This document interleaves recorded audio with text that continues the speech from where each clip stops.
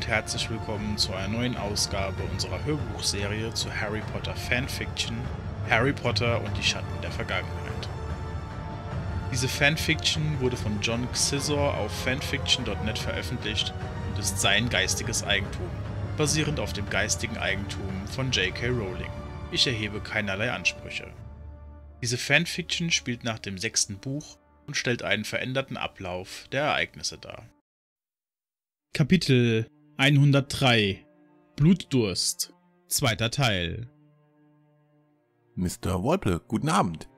Mr. Sanguini, treten Sie doch bitte ein. Grüßte Severus seine Gäste.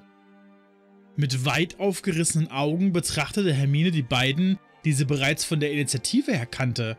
Mr. Warple hatte seinen Blick durchs Labor streifen lassen und sie bemerkt, weswegen er freudestrahlend auf sie zukam und ihr die Hand entgegenhielt. Miss Granger, richtig? Guten Abend, grüßte er lächelnd, und sie gab ihm die Hand, die Severus vor ihrer Arbeit netterweise mit einem Zauberspruch versehen hatte, damit sich ihre Finger nicht mehr grün färben würden. Ohne auf Severus Bitte zu achten, erhob sie sich von ihrem Stuhl und ging auf Mr. Sanguini zu, den sie höflichkeitshalber auch begrüßen wollte. Doch als sie ihm die Hand entgegenhielt und ihn willkommen hieß, da blickte er ihr nur flüchtig in die Augen und nickte ihr zu, was sie sehr unhöflich fand. Sie ging nicht zurück zu dem Platz, an dem sie hätte sitzen sollen, was ihr einen bösen Blick von Severus einhandelte. Doch Mr. Warple lenkte Severus sehr schnell ab, denn er sagte: So, da sind wir. Wie Sie unschwer erkennen können, können wir Ihr Angebot einfach nicht abschlagen.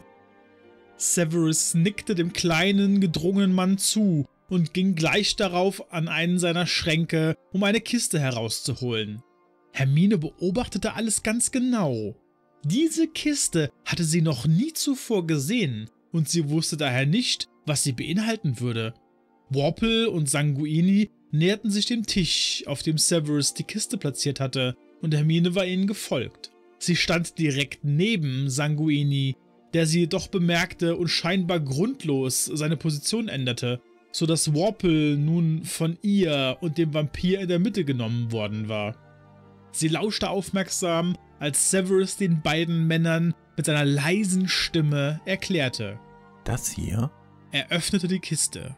Sind die Ampullen. Es kamen mehrere kleine Fläschchen mit einem Fassungsvermögen von vielleicht je 50 Millilitern zum Vorschein. Der Inhalt der Fläschchen leuchtete blutrot. Was alles zu beachten ist, liegt dem Trank bei, fügte Severus hinzu, als er der Kiste ein gefaltetes Blatt Pergament entnahm, es einmal zeigte und wieder an seinen Platz legte. Was Ihre Beobachtungen betrifft, so möchte ich Sie... Severus blickte Sanguini an. Höflichst darum bitten, äußerst genau zu sein. Sanguini nickte, so dass Severus die Kiste wieder verschloss und dem Vampir entgegenhielt, der sie so gierig entgegennahm, als würde sie Blutkonserven beinhalten. Severus ging gleich darauf an einen Schrank und holte ein kleines Säckchen hervor, dessen Inhalt klimpernde Geräusche von sich gab, was ihn als Geldbeutel enttarnte. Den hielt er ebenfalls Sanguini entgegen, doch der betrachtete weiterhin die Kiste in seinen Händen und schien unbeeindruckt von den Galeonen, so dass Mr. Warple einmal gelassen mit den Schultern zuckte und die Hand ausstreckte, um den Beutel entgegenzunehmen. Bevor die beiden Männer sich verabschiedeten, sagte Sanguini noch, ich werde die Beobachtungen zu Ihrer vollsten Zufriedenheit niederschreiben, Professor Snape. Snape nickte, bevor er beide zur Tür begleitete. Nachdem er sie verschlossen hatte, blickte er Hermine an, doch er rügte sie nicht, sondern ging wieder an seinen Platz, um die Pflanzen zu schneiden. Severus? sagte Hermine, damit er sie anblickte. Als er aufgeschaut hatte, fragte sie. Erklären Sie es mir. Sie wusste selbst nicht genau, wie sie fragen wollte, aber sie wollte alles über die Kiste mit den Ampullen wissen und was es mit den Beobachtungen auf sich hatte, die Sanguini notieren sollte. Was eben geschehen ist, Hermine, hat sie nicht zu interessieren, sagte er trocken. Sie zog eine Augenbraue hoch und kniff den Mund zusammen. Doch dann lächelte sie, bevor sie offenbarte. Das hat mit dem Trank zu tun, an dem Sie arbeiten, richtig? Der Trank, der den Blutdurst bei Vampiren stillen soll. Severus hielt bei seiner Arbeit inne und vergegenwärtigte sich, dass Harry ihr davon erzählt haben musste, denn niemand sonst wusste davon. Er antwortete daher vorsichtig. Äh, Mit äh, dieser Forschung wandle ich auf sehr dünnem Eis, Hermine, und ich bewege mich am Rande der Legalität. Sie wollte gerade den Mund öffnen, da hob er eine Hand, um sie am Reden zu hindern, und fügte hinzu. Ich weiß, was Sie sagen wollen. Ja, ich gebe es zu. Die Forschungen sind durchaus illegal. Nichtsdestotrotz erachte ich einen Fortschritt auf diesem Gebiet als erstrebenswert. Sie unterhielten sich einen Moment lang über Vampire an sich und was Severus Trank bewirken könnte. Da kam die Sprache auf das Verhalten von Sanguini, denn Hermine sagte. Ich fand ihn sehr unhöflich. Er hat mir nicht einmal die Hand zur Begrüßung gegeben. Mr. Sanguini hat sich Ihnen gegenüber angemessen verhalten. verteidigte Severus seinen Gast. Da sie fragend die Augenbrauen zusammenzog, näherte er sich ihr, um ihr seine Aussage zu verdeutlichen. Mr. Kedis hatte Ihnen die Hand gegeben, richtig? wollte er wissen. Sie kniff die Lippen zusammen, da sie gehofft hatte, nie wieder über Kaedes reden zu müssen. Doch sie nickte bejahend. Severus hielt ihr seine Hand entgegen und sagte, Geben Sie mir Ihre Hand. wortlos ergriff sie seine rechte Hand, so dass er sagte. Ich bin mir sicher, dass er seine Finger so gehalten hatte. Er nahm Zeige und Mittelfinger und legte sie leicht auf die Innenseite ihres Handgelenks und erklärte im Anschluss. Er hat unbemerkt von Ihnen Ihren Puls erfüllt. Und ich bin mir ebenfalls sicher, dass er nicht widerstehen konnte, Ihnen einen Handkuss zu geben. Severus führte ihre Hand in die Nähe seiner Lippen, doch anstatt ihren Handrücken zu küssen, erklärte er mit lehrerhafter Stimme. Aus Büchern wissen Sie, dass Vampire verfeinerte Sinne haben. Sie können besser hören, besser riechen. Er hat Ihr Blut gewittert, während er Ihnen einen Handkuss gegeben hat. Er senkte seine Hand wieder und ließ die ihre los. Sie wissen über Vampire wahrscheinlich alles, aber Sie können manchmal nicht zuordnen, inwiefern sich die Eigenarten dieser Gattung auf das alltägliche Leben auswirken. Die Höflichkeiten von Vampiren werden oftmals, besonders von Damen, mit Schmeicheleien verwechselt, häufig auch mit zaghaften Annäherungen. Er legte den Kopf etwas schräg und unterstellte. Er hat ihnen Nettigkeiten zugeflüstert, nicht wahr? Severus hob seine rechte Hand und strich Hermine lockiges, wirres Haar von ihrer Schulter, bevor er sich ihrem Gesicht näherte. Doch anstatt, wie Kaedes, ihr irgendwelche Komplimente zu machen, sagte Severus sehr leise und nahe an ihrem Ohr. Was glauben Sie, wie viele Zentimeter meine Zähne nun von Ihrem Hals entfernt sind? Ein leichtes Zittern übermannte sie, als ihr klar geworden war, wie dumm sie sich bei Kaedes verhalten hatte. Oder war es so, weil Severus ihr nie so nahe gewesen war? Ich habe verstanden, was Sie meinen. sagte sie sanft, während sie noch immer seinen Atem an ihrer Wange spürte. Er bat sie, Platz zu nehmen, damit er ihr von seiner Forschung erzählen konnte. Severus versprach sich von dem Trank etwas ähnliches wie vom Wolfsbandtrank. Die Vampire, die diesen Trank regelmäßig einnehmen würden, wären keine Gefahr mehr, da ihre Instinkte, der Durst, erfolgreich unterdrückt werden würden. Die Unterhaltung verlagerte sich, nachdem die Wasserpflanzen komplett zerteilt und in Vorratsgläser eingelegt worden waren, in Severus Wohnzimmer. Die Blumen in der Vase hatte sie mitgenommen.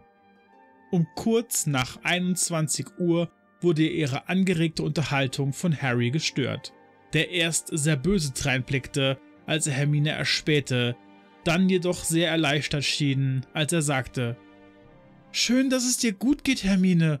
Es gab nämlich einige auf der Hochzeit, die sich Sorgen gemacht haben, weil du plötzlich weg warst. Ich hätte ja Bescheid gesagt, Rechtfertigte sie sich. aber es haben alle getanzt, als ich gehen wollte. Es war eine Ausrede gewesen, und das hatte selbst Severus herausgehört. Er hatte sich sowieso gewundert, warum Hermine schon kurz nach 16 Uhr von der Hochzeit zurückgekommen war. Aber er hatte sich nicht daran gestört und daher nicht nach einem Grund gefragt. Setzen Sie sich doch, Harry. Möchten Sie etwas trinken? fragte Severus. Ich weiß nicht, sagte Harry, bevor er sich auf dem Sessel niederließ. Ich habe heute schon ziemlich viel getrunken. Ginny wartet außerdem auf mich. Ich wollte ja nur sehen, wo Hermine steckt. Naja, ich bin hier und mir geht's gut, sagte sie keck. Harry lächelte gequält. Er hatte sich wirklich Sorgen um sie gemacht, weil er sich immer wieder vor Augen gehalten hatte, dass er sie in Aberdeen hätte verlieren können. Als der Hund auf Harry zukam, tätschelte er ihn, bevor er sich Severus zuwandte und sagte, ich wollte mit Ihnen wegen des Hundes reden. Ich werde nicht mehr Zeit haben, dreimal mit ihm auszugehen, Severus. Ab und an schon, aber nicht mehr regelmäßig. Ich hoffe, das ist in Ordnung. Severus fand das gar nicht in Ordnung. Er war nicht der Typ dafür, mit einem Hund spazieren zu gehen, obwohl ihm der Ausflug nach Little Whinging gefallen hatte. Er wollte sich gerade äußern und sagen, dass er an der Abmachung, die er mit Harry hatte, festhalten wollte. Da sagte Hermine plötzlich. Ich könnte mit dem Hund rausgehen, natürlich nur, wenn es Ihnen nichts ausmacht. Severus schien sehr erstaunt, so wie er Hermine verdutzt ansah, doch er sagte, Das wäre sehr nett von Ihnen. Harry wollte sich schon wieder auf den Weg machen, da fiel ihm plötzlich etwas ein. Daher fragte er, Ach ja, Severus, mit Ihrem Zauberstab hat alles geklappt? Haben Sie ihn bekommen? Daran hatte Hermine gar nicht gedacht, und deswegen interessierte sie die Antwort genauso brennend. Severus nickte und bestätigte. Ja, ich habe ihn heute bekommen. Die Rechnung wird Ollivander übrigens an Sie schicken, Harry. Harry lächelte verlegen. Es war ihm immer noch peinlich, dass er Severus Zauberstab auf so bizarre Weise zerstört hatte. Zeigen Sie mal, forderte Harry ihn auf. Sein Kollege kam der Aufforderung nach und zog, wie Harry und Hermine bemerkten, den neuen Stab nicht wie üblich aus dem linken Ärmel, sondern aus der Innentasche. Mit Daumen und Zeigefinger hielt Severus den Stab in die Luft, doch Hermine war neugierig und fragte, während sie die Hand aufhielt. Darf ich mal? Severus überreichte ihr den Stab, den sie sofort inspizierte, und sie erkannte ganz richtig. Birke? Weißbirke, um genau zu sein. Vervollständigte Severus. Und was ist nun der Kern? wollte Hermine wissen. Severus räusperte sich, bevor er antwortete. Wie Sie schon ganz richtig vermutet hatten, handelt es sich dabei um das Schweifhaar eines Einhorns. Ja, das war ja klar, aber es sollte doch noch einen zweiten Kern geben. rief Hermine ihm ins Gedächtnis zurück. Er sträubte sich zunächst, gab dann aber zu. Mr. Ollivander faselte etwas von dem Haar einer Hexe. Hermine stutzte und blinzelte, bevor sie ungläubig wiederholte. Das Haar einer Hexe? Sie schüttelte den Kopf und sagte, Ich bin zwar nicht allzu bewandert in der Zauberstabherstellung, aber darüber habe ich noch nie gelesen. Von Wählerhaar habe ich schon gehört, aber das Haar einer Hexe? Ist damit womöglich eine Sabberhexe gemeint? bevor ihr irgendjemand widersprechen konnte, sagte sie selbst. Nein, Unsinn. Aber ich verstehe nicht. Sie hielt inne, als sie sich daran erinnerte, wie Mr. Ollivander ihr mit einer Hand durchs Haar gefahren war, während er ihr davon erzählt hatte, dass er sich nun im Klaren über den Kern sein würde. Aber das, was sie gerade dachte, konnte doch gar nicht wahr sein. Vorsichtig fragte sie. Hat er noch etwas über dieses Hexenhaar gesagt? Nein, ich wollte mich nicht länger mit ihm unterhalten als notwendig, denn ich war der Meinung, dass er recht dreist geworden war. Sie haben doch nicht etwa wieder gezankt. wollte Hermine wissen. Ich zanke nicht. versicherte Severus, und sie nahmen diese Aussage mit einem Schmunzeln zur Kenntnis.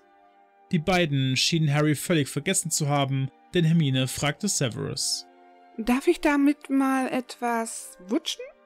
Tun Sie, was Sie nicht lassen können. erwiderte er gleichgültig, sah aber gespannt dabei zu, wie sein Stab mit ihrer Magie funktionierte. Sie wutschte und wedelte, und schon schwebte der Sessel samt Harry einen halben Meter über dem Boden. Wahnsinnig witzig, Hermine. Lass mich bitte wieder runter. Ich möchte wieder zu Ginny gehen, bat er höflich, und sie kam seiner Bitte frech grinsend nach. Als der Sessel wieder auf dem Boden stand, sagte Harry noch, Ach ja, ich habe mich auf der Hochzeit viel mit Arthur unterhalten und er meinte, die Themen, um die sich der Orden kümmert, würden sich um diese Hexenjägerbande drehen. Vielleicht, Severus, sollten wir dem Orden doch wieder beitreten. Ich mach's, wenn Sie auch mitmachen. Hermine und Ginny bekommen wir bestimmt auch dort unter, wenn wir erst einmal wieder Mitglied sind. Da weder Hermine noch Severus sich dazu äußerten, fügte Harry noch hinzu. Arthur hatte mit dem anderen Minister gesprochen und... Harry stockte. Und Pablo ist an uns ausgeliefert worden. Der sitzt jetzt in Untersuchungshaft. Viel hat man bisher nicht aus ihm herausbekommen. Außerdem weiß Ginny nichts davon. Hermine war von dieser Information sehr bestürzt, doch dann fasste sie sich und sagte, Ich möchte zu gern wieder in den Orden, Harry. An Harrys Stadt antwortete Severus. Albus wird sich sträuben. Er hatte neulich erst gesagt, er hätte gerne Black, Harry und mich im Orden. Sie haben mit Albus darüber gesprochen? fragte sie verdutzt. Severus blickte Harry an und fragte, Was denn? Das haben Sie ja noch nicht mitgeteilt? Sie reden doch sonst über alles. Das war doch erst Mittwoch und wegen der ganzen Aufregung um Anne, Ginny und der Hochzeit hab ich's völlig vergessen, rechtfertigte er sich. An Hermine gewandt, sagte Harry, an dem Tag, an dem Anne geheilt werden konnte, hatte Albus uns dreien angeboten, wieder dem Orden beizutreten. Allerdings haben Sirius und wir beide, Harry zeigte auf Severus und sich selbst, abgelehnt. Was aber viel interessanter war, wir haben Albus gefragt, wie er den Avada überleben konnte. Und? fragte Hermine gespannt und auf die Antwort wartend. Severus übernahm und erklärte. Er hat sich wie immer nicht zu einer Antwort hinreißen lassen. Auf keine der Fragen haben wir eine Antwort erhalten. Warum er überleben konnte, was aus seiner fluchgeschwärzten Hand geworden war und was er Black für einen Trank gegeben hatte, damit er nicht stirbt. Wie bitte? Er hat Sirius einen Trank verabreicht? fragte Hermine völlig baff. Was für einen? Severus unterbrach. Er hat nicht mit der Sprache herausgerückt, Hermine. Ich denke mittlerweile, da wir keine Antworten bekommen werden, sollten wir selbst nach ihnen suchen. Harry zog die Augenbrauen zusammen und fragte, wie sollten wir nach einer Antwort suchen? Severus lehnte sich gemütlich an die Rückenlehne, bevor er laut dachte. Man könnte eventuell nachsehen, ob in dem hübschen Grab am See eine Leiche liegt. Das wäre Grabschändung, warf Harry ein. Severus jedoch entgegnete ruhig. Aber doch nicht, wenn es keine Leiche geben sollte. Soweit zur heutigen Ausgabe unserer Hörbuchreihe zu Harry Potter Fanfiction Harry Potter und die Schatten der Vergangenheit. Vielen Dank fürs Zuhören. Wenn es euch gefallen hat, lasst uns bitte einen Daumen nach oben da und sehr gerne natürlich auch einen Kommentar, denn die Feedback Challenge ist immer noch on. Wenn ihr mögt, natürlich auch gerne ein Abo. Ciao, bis zum nächsten Mal.